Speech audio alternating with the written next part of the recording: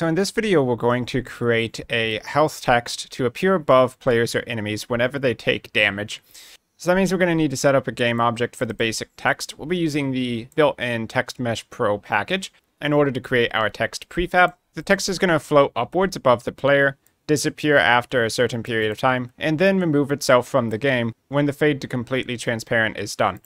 And we'll be using the M5X7 font that we installed at the beginning of the course. But the interesting bit in this video is going to be that we want to create the text as a instance whenever a character takes damage. So we'll be creating a new Unity event that will happen when any damageable component takes damage, and we'll be responding to that with a custom UI manager. So let's start by creating our text prefab. So I'm going to right click in our scene hierarchy and go down to UI and then text text mesh pro. When we do this, we're using Text Mesh Pro for the first time, so we need to import the Text Mesh Pro into the project. So you'll have to go ahead and click on the button here, Import TMP Essentials, and then we'll add a folder Text Mesh Pro to the root of the assets. So exit out of that and then double click on Text TMP, and we'll be able to see our text on the canvas. So keep zooming out and you'll see the frame of the game canvas. I'm going to take the position X and position Y and set those to zero for now. When we actually spawn the text, we'll be creating a custom location for it. Where we have the text field, I'm going to put in a placeholder text like damage. So this should never actually be visible. Instead, we're going to replace this with the exact number of damage that a player or enemy is taking whenever we create an instance of the text. Next, we need to create our new custom font asset. So in the root of our project, go to UI, Fonts, so right click on M5X7 and then go to create. Look for Text Mesh Pro and then choose font asset. So that will create the M5X7 SDF. And we want to take that and apply it into our text TMP object. So click on text TMP and where we have font asset, drag in the SDF into this font asset slot. And you should see the displaying font go ahead and change. So now we have a cool pixel art font to go with our game. For the font size, we'll leave that alone for right now, but let's change the alignment to the center. So when we create the text above our player, the text should center on the player, half to the left and half to the right. If you'd like, you can also put it to center vertically. So if we go ahead and hit play now, then you'll see that this text just shows on the screen in the center.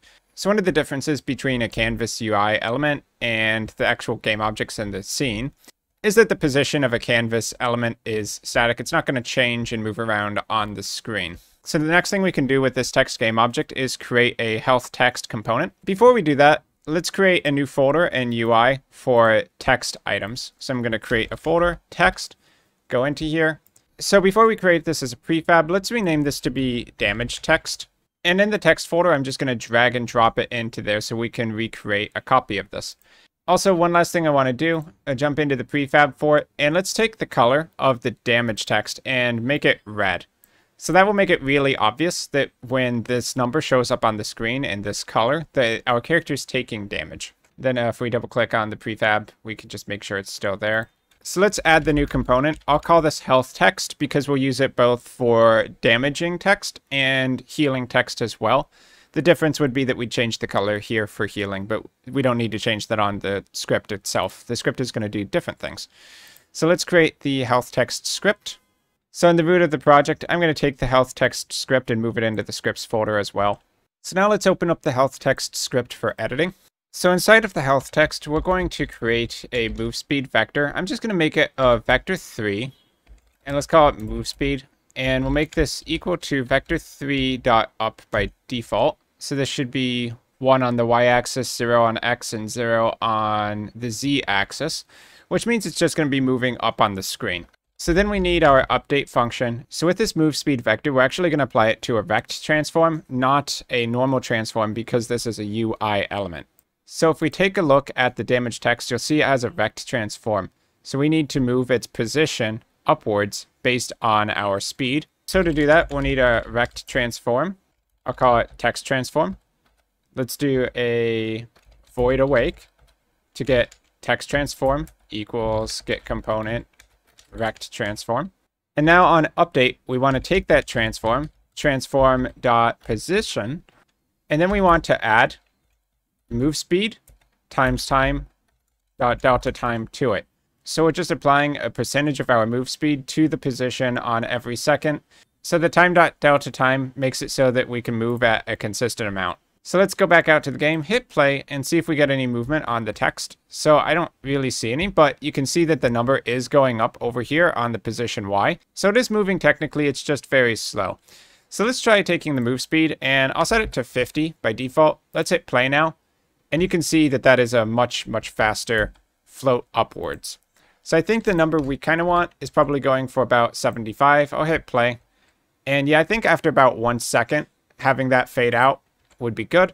So back in the health text, I'm going to actually change vector 3 dot up to a new vector 3. And let's just use 0, 75, 0 as the default amounts. So I think this comes out to be a pixels per second, since when you move the position X and position Y on a rect transform, that's dealing in pixel amounts. So now we have two options for what we could do with this text component.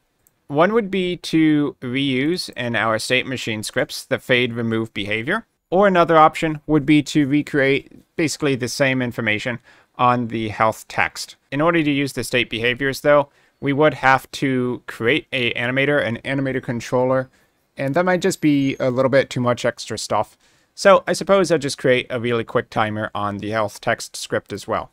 So let's edit the script, and we can put in a public float, time to fade, and I'll default this to one second. So then we need a private float time elapsed. And we're going to be fading out the color on the Text Mesh Pro UGUI uh, component. So let's get that. Text Mesh Pro UGUI. I guess we can call it Text Mesh Pro uh, for the variable name because TMP would just kind of mean more like temporary file, and that doesn't exactly make a lot of sense. So let's get that component as well. I'll just hit tab and have that autofill. So on update, we'll do time elapsed plus equals time dot delta time. Let's make sure up here that we default time elapsed to 0f. And then if time elapsed is less than time to fade, then we're going to adjust the color on the text mesh pro. So text mesh pro dot color equals a new color. And let's base this on the starting values so that we don't have to get this every time. So we'll have a private color, start color kind of like in our fade remove behavior. So start color equals text mesh pro dot color. So this is the starting value. And then this will be the updated value. So for the RGB, I want to keep that the same. So start color dot, let's see, R, start color dot G, start color dot B for blue, and then a new value, fade alpha. So the alpha is going to be a float value, and we're going to calculate that. I'll just go over to the fade remove behavior, double click into it, and let's just grab this same formula here. The new alpha is equal to the start color dot A, the original alpha, multiplied by 1 minus basically a percentage calculation between the time elapsed and fade time. So if we just copy that bit over here, paste it in there, then we have our new fade alpha. So the only thing we need to change over here is using time to fade as the variable name. And that should be it for the fading. But after the fade is complete, we want to remove our object from the game scene. So else, implying that the time elapsed is already greater than the fade, we're going to destroy the game object. So let's go back to Unity, hit play, and watch our fade. So you can see it fades completely and deletes itself from the scene. Watch the damage text in the hierarchy and you'll see it removes itself when the fade is complete as well. So now all we need to do is have a Unity event where we create the health text and then assign a text number to it and the fade out and the removal of the game object will already occur in the health text script. Another quick thing to note this event system game object that gets created when you add a canvas to your scene, because we're using the new input system, we want to click replace with input system UI module here so that we're using the new updated version of the input system. Okay, so let's create a new game object in the scene, and this will be our first kind of manager script. So I'm going to right click, create a new empty game object, and I'm going to call this UI manager. I'll reset all the positions to zero for XYZ, though it's not going to matter. And then I'm going to create a new folder in assets. So let's right click in the assets folder, create folder, and I'll call this managers. Double click into here and drag UI manager into the slot. So the UI manager, I'm going to jump into the prefab for it. We're going to create a new script and I will call this UI manager, create and add. And once again, I'm going to move the script into the scripts folder inside of Unity so that it keeps track of where the scripts are located for the uh, game objects that already have components like UI manager attached. Okay, so when we move it like this, it doesn't lose the reference up here. Okay, then we want to add it into the script. And let's create a game object public field. So game public game object. And I'll call this damage text. We'll also have a slot for a health text. So public game object health text. I'll also say prefab at the end because what we're implying here is that we're going to create instances of these. So let's delete start and update. So I'm going to create two functions here that we're eventually going to use in a Unity event. So let's do public void, and I'll call this character took damage. So for the parameters, we'll do game object character, and then int damage received. Then I'll also have a function character healed. Let's do game object character, int health restored. So this will be a to-do. We'll come back to that a little bit later. So when the character takes damage, we want to create the text at the location where the character gets hit. So to do that, we need to find the spawn position. And that's going to be using a function on the camera. So camera.main, which is your active camera, and we're going to do world to screen point, which means we take the world position of the character and we turn that into a point on the canvas, something that the rect transform can understand. So when you want to turn something from a world position into a canvas position, you use world to screen point. And then you need the position we're taking from the world to turn into a screen position. So that's going to be character.transform.position. Then we're going to want to instantiate a copy of our prefab, and we're going to set the text on it. So to set the text on a text mesh pro, we can get tmp underscore text, and I'll just call this uh, tmp text, I guess, equals, and we're going to instantiate a copy of our damage text. So damage text the location where we're spawning it is this spawn position, which we just calculated. The rotation is going to be quaternion dot identity. And then the parent is going to be the canvas, which we have not gotten. So, and then the parent, which we're attaching it to, is going to be the canvas game object. So we'll need a reference up here to the game canvas. So public canvas game canvas. And for the instantiate, we'll do game game canvas dot transform so the last thing we want to do, this gives us a copy of our game object. So when we have the game object, we want to get the TMP text component. So get component TMP text. Can make this uh, two lines if that helps. And then we want to set the text on the TMP text to the damage we received. So TMP text dot text equals damage received dot to string because we need to turn an integer into a string so that we can assign the string to the text. Okay, so Honestly, we can just copy paste this down here for the character healed function, except that we're going to use the health text prefab. So copy paste that down there. And instead of damage received, it's health restored. So copy paste. And there's our healed function, which will respond to one event and the character took damage, which will respond to another event. So to get the game canvas, when our script starts, we can do void awake, and we'll do game canvas equals find object of type canvas. So that will look in the root of our scene, the game level, and find the first object that is of type canvas. As long as you only have one canvas to find and that's in the root, it should go ahead and find it. And then we'll use that for uh, creating the text into for the uh, parent transform. So when you have a UI element, you should create it and assign it onto the canvas because it's a UI element. So we have the methods to invoke on our UI manager when a character takes damage or when it's healed, but we don't have those Unity events. Now before what we were doing with the damageable component is we created a Unity event straight on the damageable component, and then other scripts inside of the same game object, we drag and dropped onto the inspector which function we wanted to call. But in this case, the UI manager and the damageable characters exist as two completely separate entities. And we might even have damageable characters that spawn after the game loads, so we can't actually set those Unity events up in the inspector.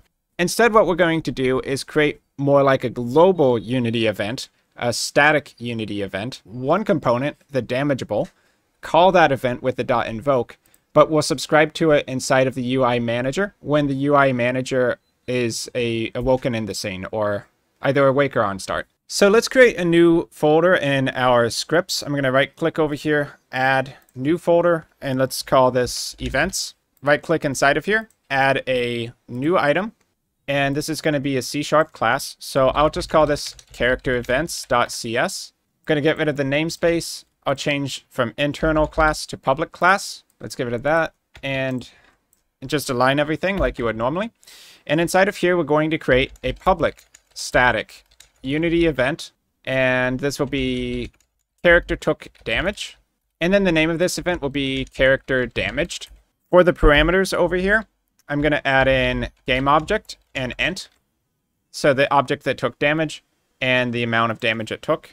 And let's also create the character healed event. So character healed, which is going to take basically the same parameters. Character healed and amount healed.